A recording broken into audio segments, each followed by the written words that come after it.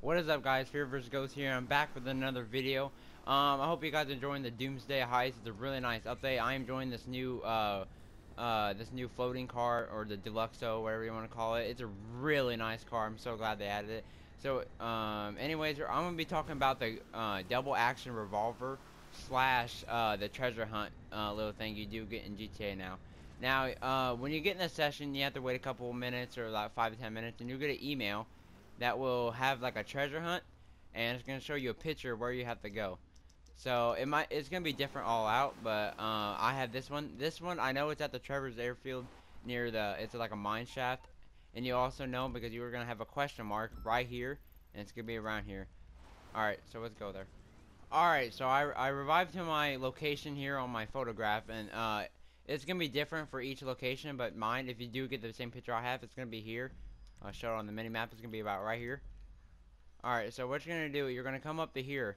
And there's going to be a note on the thing. And it's going to give you a alert hit right on the D-pad. And it's going to say, Treasure tore our family apart. It ain't here no more. I moved it. You fuckers would never find it.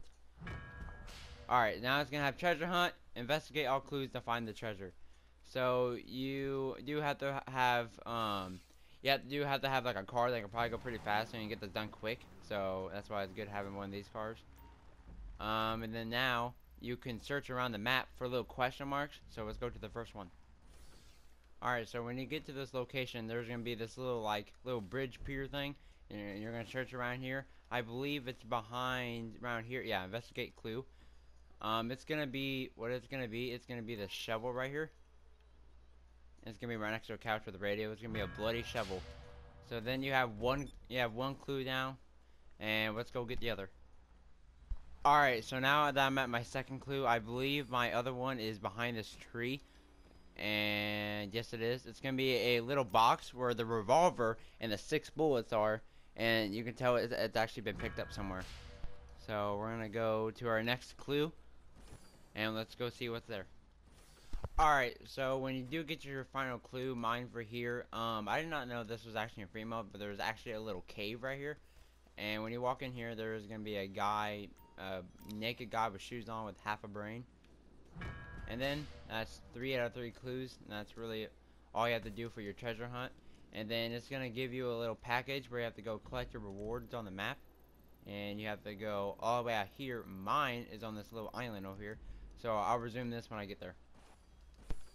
Alright, so when you get to this last location where your treasure is, there's going to be two hillbillies there with a with the little uh with the shovel.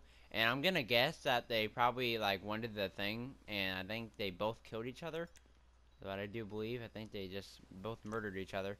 So if you're gonna so when you open up this chest you're gonna open it up it's gonna be the double action golden revolver. Yeah it's a really nice pistol and it's also gonna be used in Red Dead Redemption 2 when you actually do get the game and you actually get to use it and stuff Alright, so now I own the double revolver now, this gun does look really, really good. It looks very nice. It's golden. It's white on the on the grip and looks really good. And also, as it's on top, it says 50 headshots with a uh, double action, and you'll get yourself $250,000. So, if you have like a group of friends, please ask them if uh, you can get some headshots off them, or you can just go around on a killing spree and get some 50 headshots, and you'll get yourself a free $250. So if you guys enjoyed the video, leave a like, subscribe if you're new. Comment if you have any problems, or which you shouldn't have any problems, I tell with you. But if you have any concerns or anything, please comment down below. I always reply to you. And I'll talk to you guys later. Peace out.